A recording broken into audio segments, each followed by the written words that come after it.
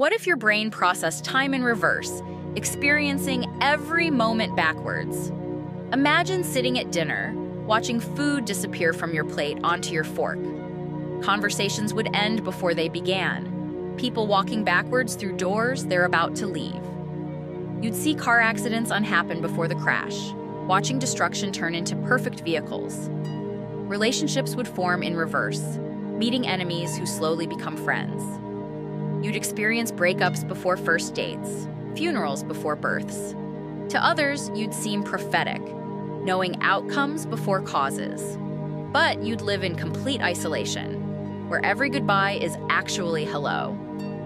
What if some prophets aren't seeing the future, but living it backwards?